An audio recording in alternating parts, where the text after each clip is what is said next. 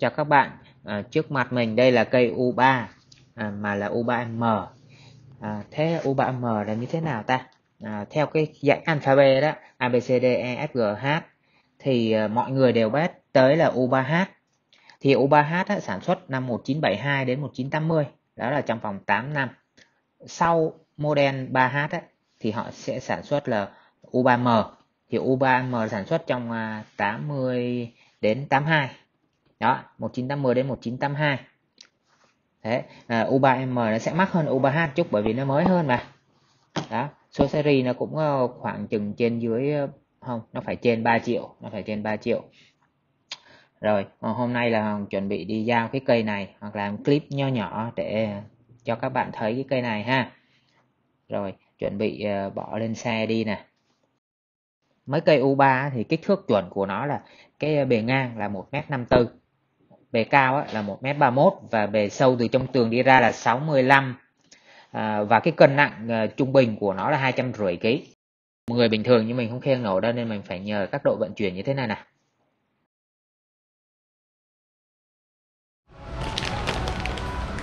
À, cho các bạn. Bữa giờ Hoàng làm rất là nhiều clip review cho đàn piano điện. Tuy nhiên là Hoàng uh, chưa có muốn nhắm tới uh, các clip review cho đàn piano cơ. Thì hôm nay nhân tiện uh, Hoàng giao một cây U3 thì Hoàng làm uh, review sơ sơ cho các bạn xem thôi ha.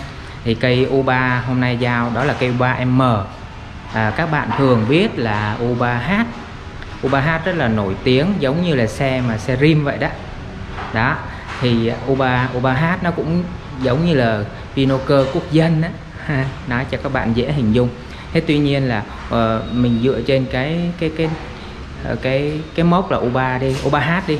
Thì uh, trên U3H có những cái model khác à, mới hơn. À, và mới hơn và hay hơn. Thì có những cái nào? Thì có U3M nè à, U3A này. Tiếp nữa là U30 bên L U30A rồi rồi còn nữa. À, thì bây giờ hôm nay Hoàng sẽ cho các bạn coi cây U3M ha cây U3M giờ Hoàng đàn cho các bạn nghe cái cây U3M ha. À, họ có nói lại là U3 thì nó có U3A mà A nhỏ đầu tiên. À, xong rồi A thì có B có C D E F G rồi U3H U3H rất nổi tiếng các bạn biết rồi đó. Nhưng trên U3H là M. Trên M lại là U3A như U3A hoa. Rồi mình thử cái tiếng của nó nhé. Thử tiếng của nó đây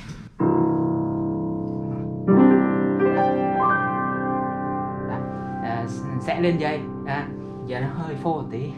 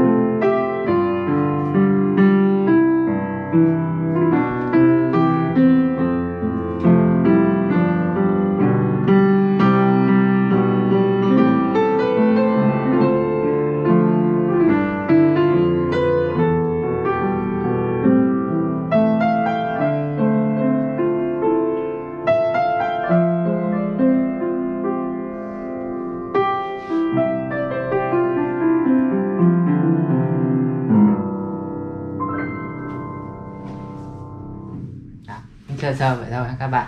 À, Hoàng á à, bữa giờ Hoàng làm rất là nhiều clip cho đàn piano điện nhưng Hoàng à, không có đá động gì tới piano cơ mấy.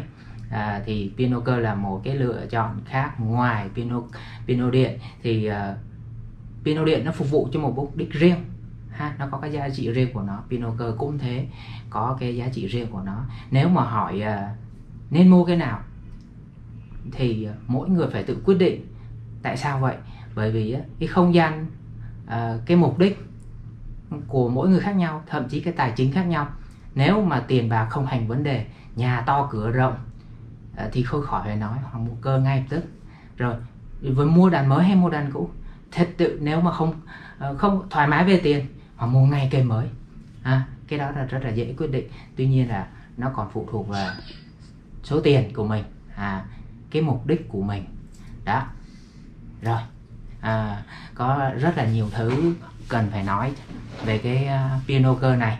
À, có thời gian từng clip từng clip hoàng sẽ chia sẻ uh, mỗi góc cạnh khác nhau ha. Thì hôm nay uh, hoàng uh, làm một review nho nhỏ thôi cho cây uh, U3M này.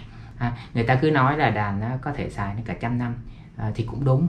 Thế nhưng mà các bạn nhớ là uh, cái độ cái độ ngon nhất ha cái độ đẹp nhất cái độ mà uh, Ờ, phù hợp nhất để mình xài thì nó cũng nó cũng có cái giới hạn của nó thôi chứ mình để trên 50 tuổi 6 70 tuổi thì cũng già rồi. Nên là nếu mà mua đàn cũ Hoàng cũng nghĩ cũng khuyên các bạn trong cái phạm vi trên dưới 30 năm thôi. À, đừng có cũ quá. Nhớ nha đừng cũ quá. Uhm, cứ cũ quá mà bảo là còn tốt lắm thì sao nói vậy được, ha? Cũ quá, mà bảo còn tốt lắm, cũng được. Chẳng hạn cái này họ cũng bảo không còn, họ bảo còn sai được chứ họ không chào bảo là tốt lắm đâu cái cơ thể hay là cái đàn hay bất kỳ cái gì nó cũng phải có cái dấu hiệu nó xuống cấp, ha. nhưng mà so với cây mới đi, cây U3 mới tinh của Nhật là 240 triệu. Thì cái này sang sang hơn sáu mấy, phù hợp rồi, ha. nếu có tiền mua cây mới 240 triệu. Nhưng mà thôi mới học, cái này cũng được ha, các bạn ha. Rồi, cảm ơn các bạn. Hẹn các bạn ở các clip khác hoàng sẽ nói phân tích nhiều hơn về cái pinoker cho các bạn. Cảm ơn. Xin chào các bạn.